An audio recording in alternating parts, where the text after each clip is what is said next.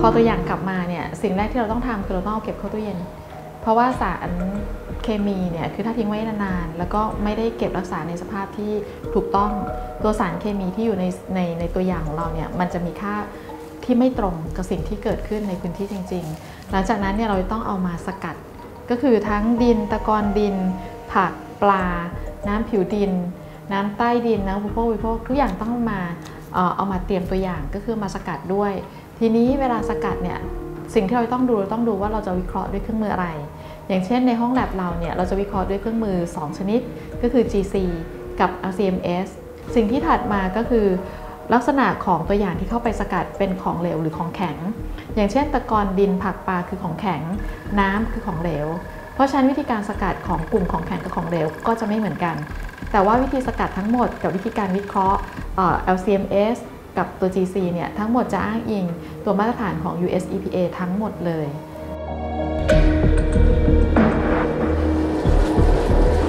ตัวอย่างตอนนี้ก็ประมาณ 500 ตัวอย่างนะที่อยู่ในห้องแล็บที่ต้องรีบสกัด สารเคมีที่เราตรวจมีอยู่ 4 ชนิดเป็นสารเคมีหลักก็คือพาราควอตไกลโฟเซตอะเมทรินอะทราซีน4สารชนิดนี้เป็นตัวหลักที่ทางนงบัวลำพูเขาใช้กัน แล้วตัวอย่างทั้งหมดเนี่ยจะถูกสกัดอย่างน้อย 2 ครั้ง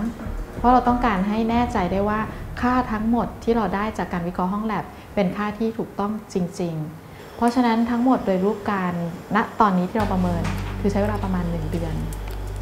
ในการวิเคราะห์ในการตรวจสอบซ้ำจนกระทั่งได้ค่าแต่ละจุดจริงๆ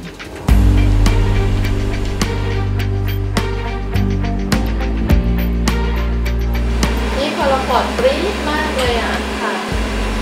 ปลาอะไรนะพลอยตรงนี้อันนี้ที่เขียนมาคือปลาสร้อยค่ะอาจารย์โอเค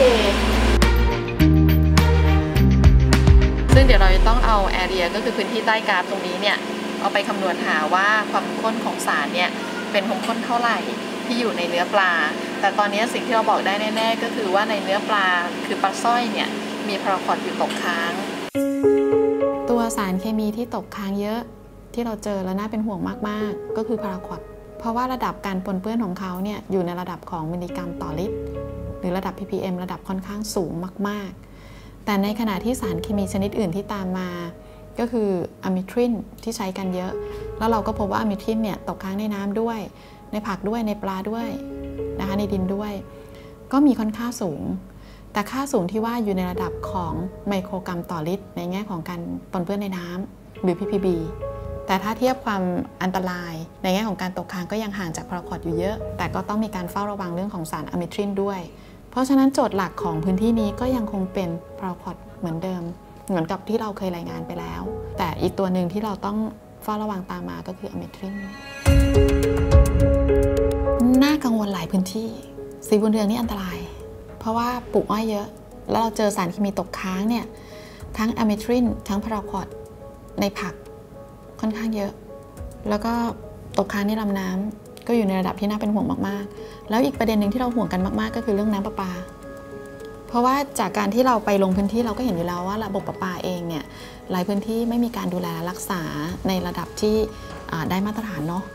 อย่างที่ควรเป็นเนี่ยประปาไม่มีการล้างเลย ซึ่งการตกค้างของสารเคมีก็แทบจะเรียกว่าน้ำผิวดินมีอยู่เท่าไหร่ น้ำที่ออกจากระบบประปาก็เท่านั้น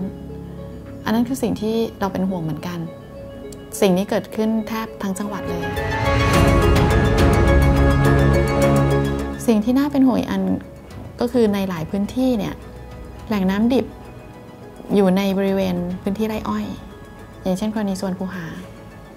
แหล่งน้ำดิบสำหรับประปา ที่เราไปพบเนี่ยก็คือน้ำมีการปนเปื้อนค่อนข้างสูงมาก แล้วเป็นน้ำประปาที่หล่อเลี้ยง คนทั้งอำเภอ ตรงนั้นก็น่าเป็นห่วงมากๆเหมือนกัน ตัวโนนสังที่น่าเป็นห่วงก็คือพื้นที่บริเวณหน้าเขื่อนอุบลรัฐแต่เข้าใจว่าพื้นที่โนนสังเองเนี่ยถ้ามีการเข้มงวดเรื่องของการบุกรุกพื้นที่ป่า ไปเป็นไร่อ้อย ปัญหาของนนสังเนี่ยจะลดลงไปเยอะมาก ตรงนี้กับเป็นมาตรการที่น่าจะทำได้เลยและค่อนข้างชัดเจน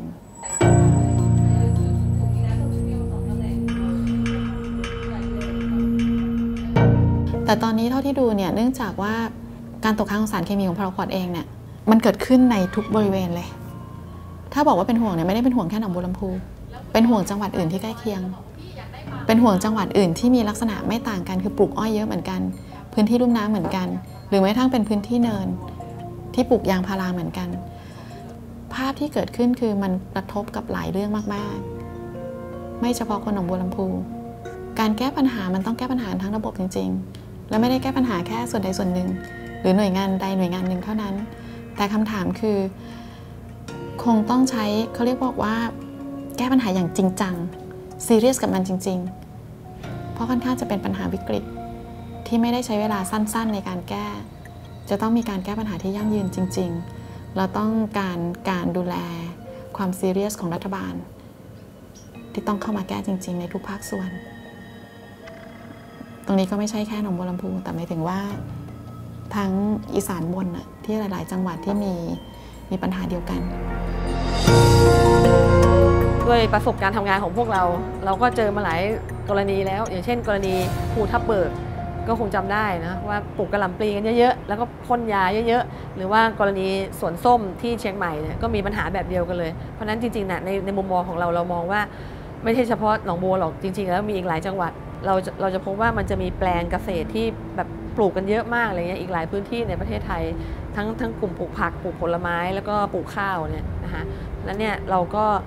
เราก็มองว่าอันนี้แค่เป็นเหมือนยอดภูเขาน้ำแข็งเท่านั้นเองเออเพราะนั้นจริงๆแล้วข้างล่างมีอีกเยอะหลายหลายพื้นที่ในประเทศไทยที่เป็นแบบนี้ที่เปิดประตูรถลงไปแล้วเราจะได้กินยาฆ่าแมลงทันทีโดยที่เขาก็ทำแปลงเกษตรแบบทั้งขนาดใหญ่ขนาดเล็กรวมๆกันเนี่ยค่ะ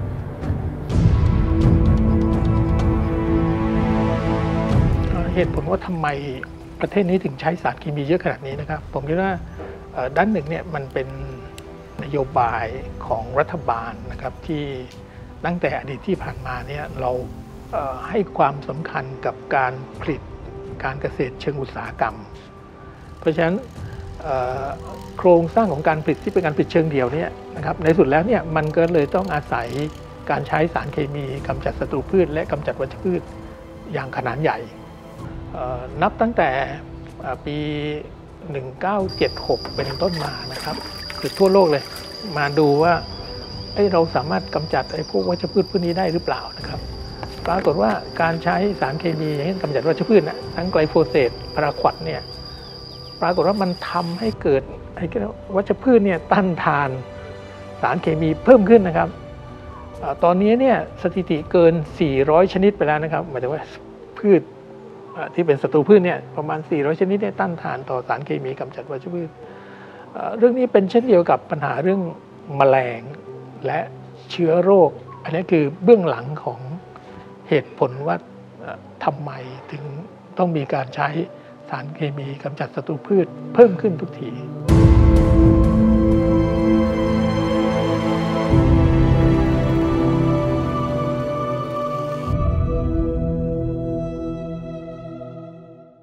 ขอบคุณทุกท่านนะครับที่คลิกเข้ามาชมทาง YouTube ทีวีบุรพา Official นะครับก็ยังไงก็อย่าลืมติดตามกันนะครับ กด subscribe นะครับและกดกระดิ่งครับจะได้ไม่พลาดรายการดีๆ จากทางทีวีบุรพาครับ